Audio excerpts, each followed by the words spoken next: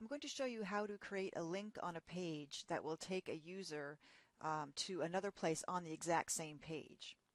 And in order to do that, you would add an anchor and a link. So in this case, I'm going to just add a few here. What I want to do is add a link to Art and Art History in Italy that when a user clicks it will take him or her him or her, excuse me, to this full program description here, Art and Art History. And then I'm going to do a second example. I'm going to make a link here, Music and Language in Italy, that when a user clicks it will take him or her to directly to this area of the page. Okay, so I'm going to go into the edit screen.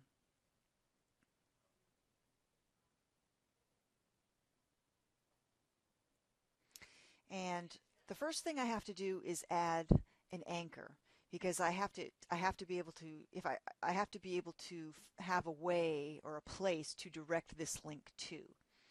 So I create a little tag here because this is where I want the link to go. And that tag is called an anchor. So I highlight this text. I go to the anchor icon here. I give it a name and I'm just going to call this uh, arts, I guess. Um, and you want the name to be simple so that you can remember it in a minute when you go to make the link. And also you don't want to have um, more than one word, or if you do, you don't want to have spaces, just no spaces in between words or letters. Click Insert. You see the little anchor um, icon here shows up. Now we go and we make the link to that anchor. So I highlight the text, click the link it icon, now this is something you just have to remember, but uh, the HTML code for adding a link to an anchor um, is a pound sign. So you click pound sign, you type in the name of your anchor that was very easy to remember, arts, and you insert it. And that's it. So now when a user clicks on this, they'll be brought here. So I'm going to do a second one. So I want music and language to take a user here when they click on it. So I'm going to create an anchor first by highlighting it, clicking the anchor icon.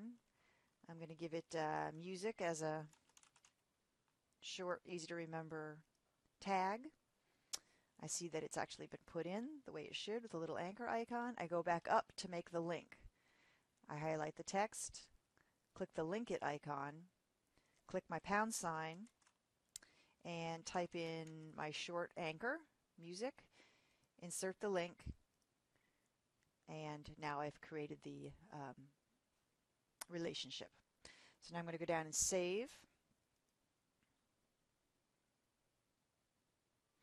And you see there's a, a actually a link there. Um, so you click it and it takes you to art and art history section just the way you wanted it to and click on music and language and it takes us down to the music and language section the way we wanted it to.